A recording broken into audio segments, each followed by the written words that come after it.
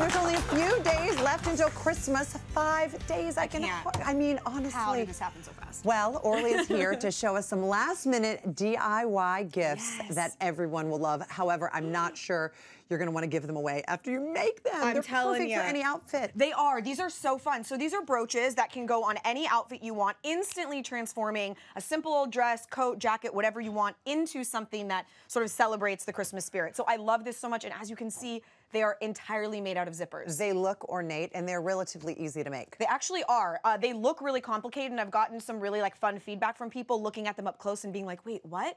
They actually are very simple to make because it's the detail of the teeth in the zippers Right. that looks almost like each little thing's like individually rhinestone, but it's just those teeth and working with them in a cool way. All right, so besides raw zippers, Mm-hmm. what else will we need for this project? So you're gonna either need like a felt or these little foam sheets. You want something as your backing Okay. for uh, that your zipper can get applied to. For the wreath, you can also use a little bit of foam core. So you just want something to to you know attach it to. And then we're gonna be using hot glue for this.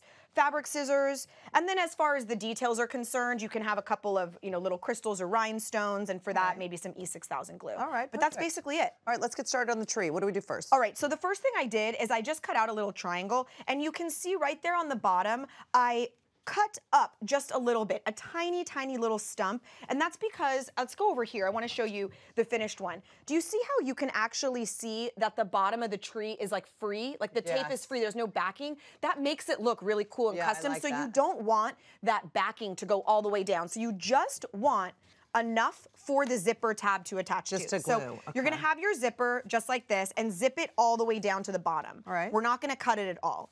Now, on the back, add a teeny bit of hot glue right to the zipper tab. Okay. And that is going to go right onto that little extra piece that we left. All right. Right there. So now it's attached, but our bottom is free and open, so you're not seeing it at all.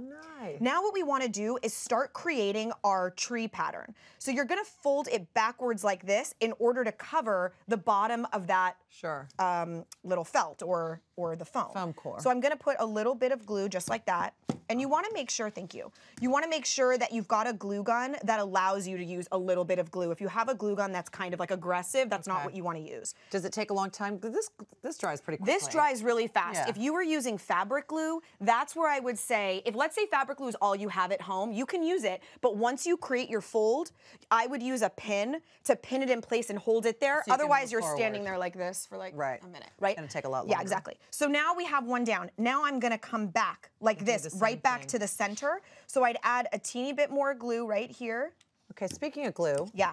I can sometimes get a little um a little uh, wild with the glue, and Yeah. I, I use a little more than I think I'm supposed to. and I Right. press it down, and then it comes out. Exactly. And then all of a sudden you end up with like a smudge of glue you can't get rid of. Yes. The good thing is that what we're gonna do is save all of the little details like the rhinestones, which are is what's gonna look like our ornaments for last. So you can hide any glue. But I will say that's why the hot glue is really important because you have a lot less chance of having it squeeze out because it dries so fast. Okay. So, So you really just need a little dab. So let me angle it this way so you can actually see. So you see how it's starting to come together? You angle in just a little bit as you go up, the same way as a tree, and you'll end up with one side just like this. Okay. So see, I've done one side. And you go back and do And now next. you're gonna do the other. Now the first side that you do, you can space out the little like ripples in the teeth however you want.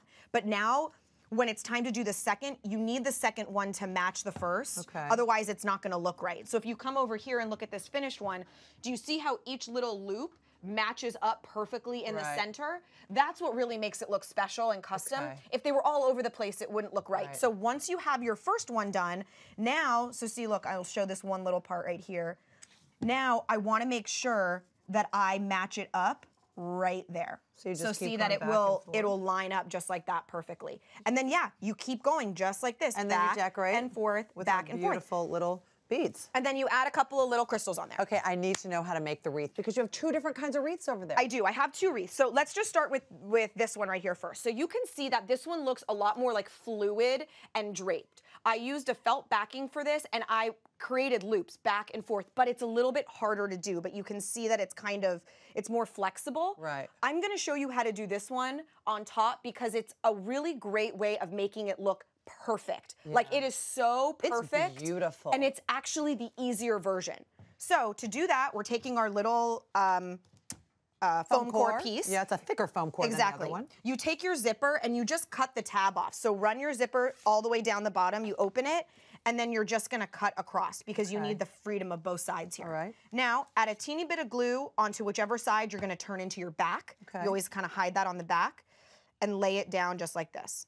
Now, we're going to run it through like this. And again, hold it with your finger and on the back, add another little piece of So glue. are you doing glue every single stop that Every you go around? Time. Yep, Okay. every single time. Because as you start to run around the corner here, you want to. Do you see how this is sort of loose right there? Mm-hmm. See that gap? This part of the zipper is gonna tighten it.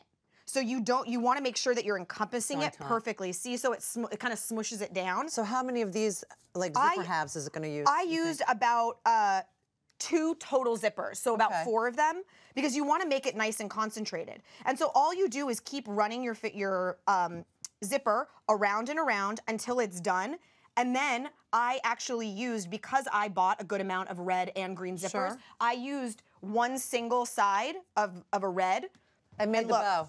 And made the bow. So cute. So the whole thing really looks custom because it's all fully made out, but you can see that's only one half of the zipper. So you do the same thing. You undo your zipper, you cut it in half, and then you have those little individual pieces. And then you just glue the the brooch Yep. clip these- on the back. Exactly. These are the pin backs. So a little bit of hot glue goes right on the back of that, and then it's attached and it's a brooch, and that's all that you need. I'm sorry. If I saw these in a department store, I would say, "Oh my god, they are so worth about 30 or 40 dollars." I'm so glad they are. They're really It's fun. just a zipper. And save. Yeah, you They're want to also save all the little um, details of the zipper to use. So that's our little ornament topper, and I even used it on the top of this tree.